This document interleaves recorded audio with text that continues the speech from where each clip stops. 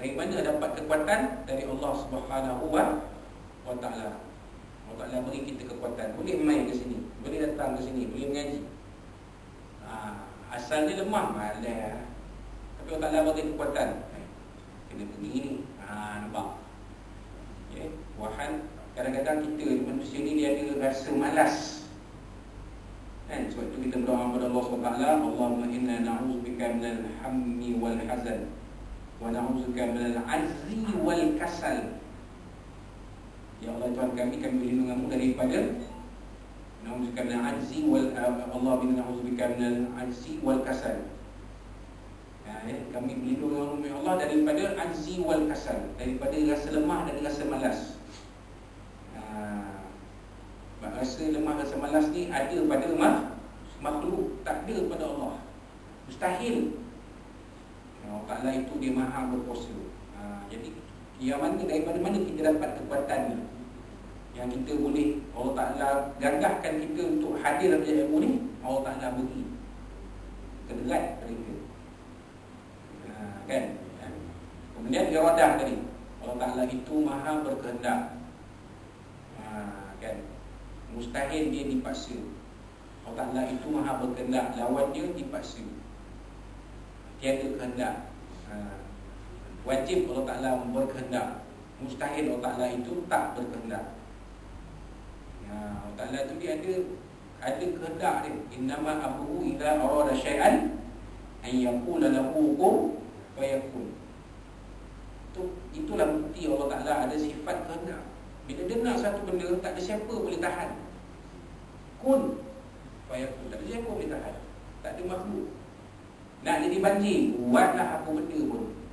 Kena banjir juga. Koreklah Sungai sedalam-dalam ni. Buatlah batas ban se Setinggi-tingginya. Bila Allah Ta'ala kata Tempat ni kena banjir Kena banjir.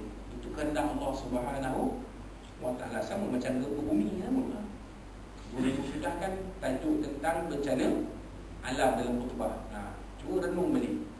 Itulah salah satu bukti ya, sifat kudrah dan iradah Allah Subhanahu Wa Taala. Dan kita apa kita mampu ialah meminimumkan kesan bencana alam tu. Itu boleh. Meminimumkan. Maksudnya kalau banjir tu teruk boleh dikurangkan boleh kita kurangkan tak teruk sangat kena kena banjir juga tapi tempat yang rendah saja yang kena tempat yang tak rendah tak kena ha, tu boleh buat tapi banjir tetap tetap akan ada gempa bumi je tu lah. Kan? Ya, tengok macam mana negara Jepun kan selalu kena gempa bumi.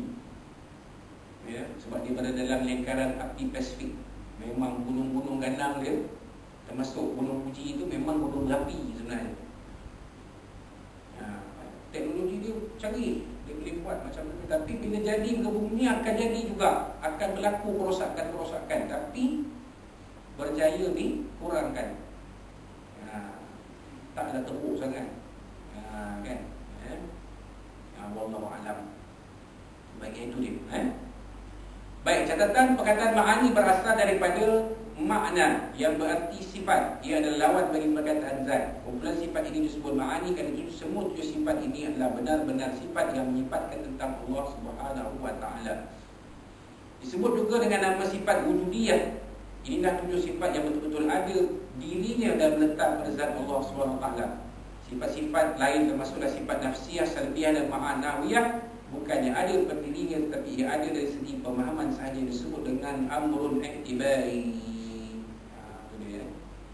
Jadi tujuh sifat ini memang benar-benar ada pada Allah SWT Sifat ma'ani. Yang lain itu adalah apa yang kita faham dari Zat Allah Subhanahu Wa Ta'ala. Macam nafsiyah tadi kan ha, Allah Ta'ala itu wujud kan? ya, Kalau dia itu sifat pada diri pada Zat Allah SWT eh, Kita kata Allah Ta'ala itu tak ada kan? Wujud lawannya Adam Tiada Allah Ta'ala itu ada lawannya tiada kalau wajib ada mustahil dia ada. Ha, itu pada zat Allah Taala memang betul-betul pada zat Allah Taala. Ha, eh. kan? Eh, dia tidak ada afal kat situ, tidak ada perbuatan kat situ. Ha, salbiah sama juga. Itu dia menafikan Sifat yang dinafikan adanya pada pada makhluk. Ha, pergi pada ma'ani sifat-sifat ma'ani ini ada perbuatan daripada Allah Subhanahu wa taala. Nampak? Ha, kan? Eh? Hmm, wallahu a'lam. Sifat ma'ani boleh disifatkan dengan sifat lain. Maksudnya semua sifat ma'ani boleh bersifat dengan sifat manusia dan semua sifat salbiyah. Sebagai contoh, kudrah adalah ada. Maha berkuasa adalah ada di wujud kerana sifat wujud. Kudrah adalah qarin kerana sifat khilaf. Kudrah adalah kekal dengan sifat baqa. Itulah seterusnya. Kiaskanlah kepada semua sifat ma'ani yang lain. Ha, ya. Sifat sifat sifat ma'ani ini sifat yang ada af'al dia. Af'al Allah ada perbuatan Allah pada diri. Jadi boleh sadar kepada sifat nafsiah dan salbiyah. Ha, ya. Hmm. Sifat-sifat ma'ani ini ada serentak apabila ada Allah Subhanahu wa taala. Tapi kita dah kaji tadi, kita dah sebut tadi sifat nafsiah dan Taala memang ada. Lah. Jadi ustaz sifat-sifat ini tiada pada Allah Subhanahu wa taala. Baik yang keempat maknawiyah. Ha itu dia. Sifat maknawiyah Sifat ini melazimi sifat zat dan beberapa makna lain. Perkataan yang menonton kaki di bawah tu perkataan melazimi arti sifat ini tidak boleh bercerai atau tanggal daripada melazimi itu sifat ma'ani. Jika dikatakan keadaan Allah yang ber, ber, berkuasa atau mempunyai sifat berkuasa, maka lazimlah wajib dia bersifat dengan sifat berkuasa. Begitu juga lah sifat-sifat maknawiyah yang lain. Ha, contohnya macam qawmuhu qadiran.